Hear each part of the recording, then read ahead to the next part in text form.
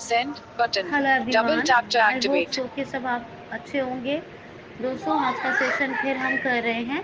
कल हमने बात की थी why accessibility is important is an important तो आपको बताया था ब्लाइंड पर्सन ग्राफिक्स नहीं देख सकते स्क्रीन रीडर की प्रॉब्लम है। एनवायरनमेंट में बात करें तो हर जगह इजीली जा नहीं सकते हैं। जब तक किसी बिना ऐप के बिना मतलब असिस्टिव डिवाइस को यूज़ ना करें या किसी डिजिटल ऐप की है, ये हेल्प ना लें।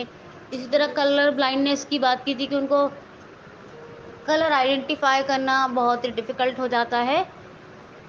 तो ये उनको भी ज़रूरत है कि वो, उनको भी ज़रूरत है कि वो एक्सेसिबिलिटी एक्सेसिबिलिटी का यूज़ करें, यानी खुद को एक्सेसिबल बनाए।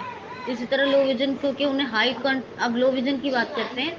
लो विजन जिनको थोड़ा कम दिखता है तो उनके साथ भी यही प्रॉब्लम होती है कि हर तरह का टेक्स्ट उनके लिए विजिबल नहीं होता है। क्यों? जब विजिबल नहीं होता तो वो कर्सर कैसे ले जाएँगे अपना वहाँ? अगर वेब की बात करें तो। कर्सर कैसे ले जाएँगे? दूसरी बात ये कि जब सारा टेक्स्ट विजिबल नहीं होता है तो उनको हाई कंट्रास्ट का यूज़ करना पड़ता है। हाई कंट्रास्ट का यूज़ करेंगे, तभी जाके हाई कंट्रास्ट का यूज़ करेंगे तो उनको मैग्नीफायर का यूज़ करेंगे। मैग्नीफायर किस लिए होता है ताकि उनको चीज़ें बड़ी दिखें? हाई कंट्रास्ट कैसे होता है? ये कलर ब्लाइंडनेस वाले भी करते हैं यूज़ और लो विजन भी करते हैं, जिससे कि उन्हें क्या हो कि चीज़ें बड़ी भी दिखें हाईलाइटेड दिखे, उनकी नज़र जल्दी पड़ जाए, है ना? तो ताकि वो अपना कर्सर वहाँ मूव कर सकें। हालाँकि वो माउस का यूज़ कर सकते हैं और वो अच्छे से ट्रैकिंग कर सकते हैं, लेकिन जब तक उनकी विजिबिलिटी प्रॉपर नहीं होगी, जब तक उनको सारी चीज़ें विजिबल नहीं होंगी उनके लिए तो वो कैसे इसका यूज़ करेंगे?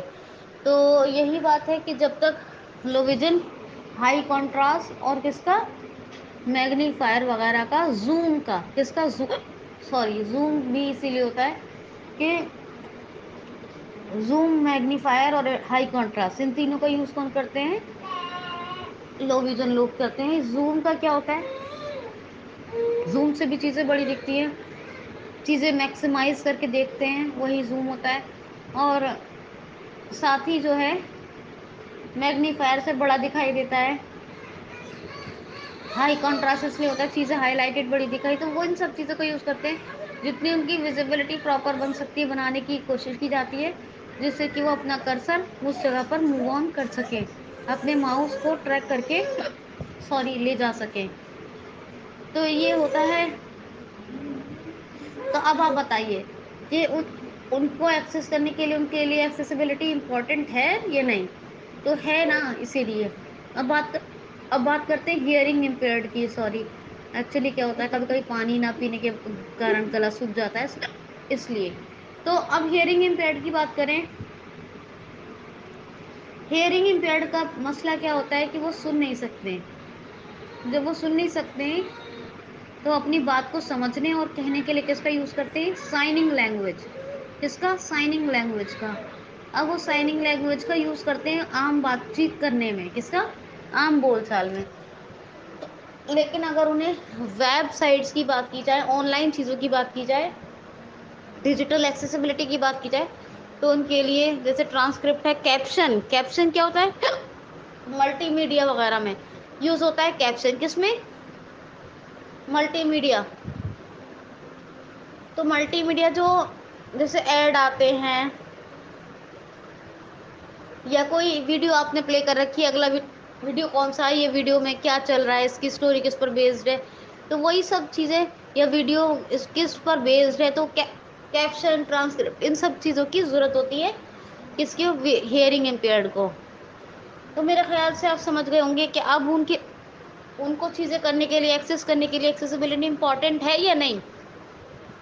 एक्सेसिबिलिटी इंपॉर्टेंट हुई ना? वही चीज़ें तभी एक्सेस कर पाएँगे ना वो। ऑनलाइन कंटेंट कैसे करेंगे? जब एक्सेसिबल होगा उनके लिए, कैसे होगा?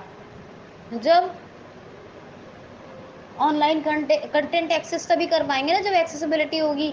जब वो मान लीजिए कैप्शन नहीं है ट्रांसक्रिप्ट नहीं है, मैं जो बताऊँगी, या फिर आप बात करें कि कैप्शन ट्रांसक्रिप्ट के अलावा आम बोल चाल में तो वो साइनिंग लैंग्वेज कर लेते हैं।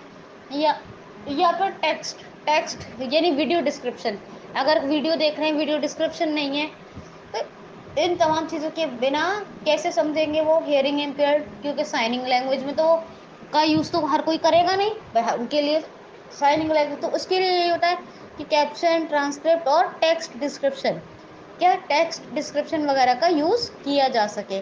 तो ये किसका चैलेंज है? ये यही है हेयरिंग इम्पेयर्ड का। तो आप बताइए, उन्हें एक्सेस करने के लिए एनवायरनमेंट में वेबसाइट्स पर क्या एक्सेसिबिलिटी की ज़रूरत है या नहीं? तो why accessibility is an important यही हमारा टॉपिक था। और अगर बात करें हम, किसकी बात करें? अगर हम